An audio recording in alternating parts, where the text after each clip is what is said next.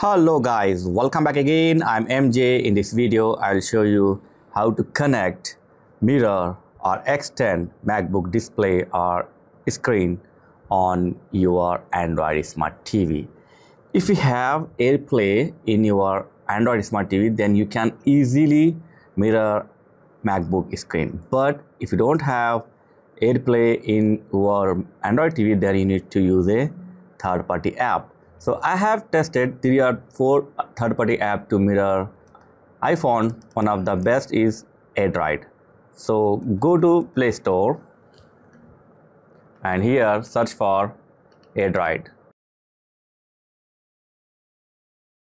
So this is the application name AirDroid Cast TV and this is the logo of application as you can see. So now simply download and install this app to your TV and then open this app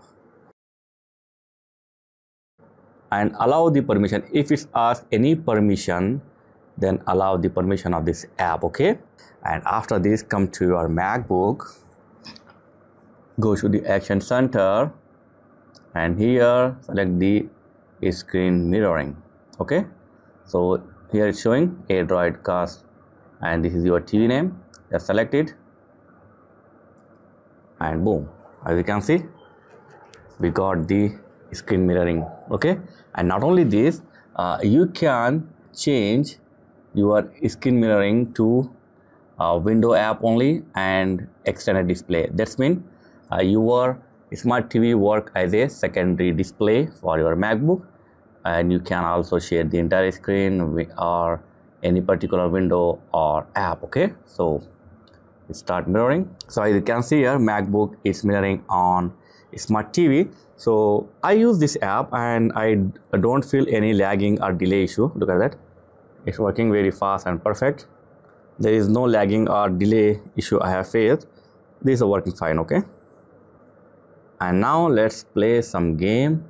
So here i am playing tomb raider game and i didn't notice uh, any big lagging or stuck issue and yeah there is slightly graphic difference okay? Uh, rather than game is working perfectly as you can see there is no delay.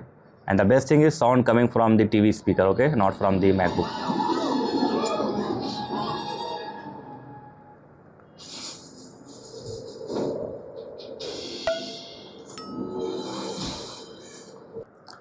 So now I am playing Code of War game and I didn't notice any delay or stuck or lagging issue yeah there is a graphic difference little uh, graphic different rather than the game is playing very well.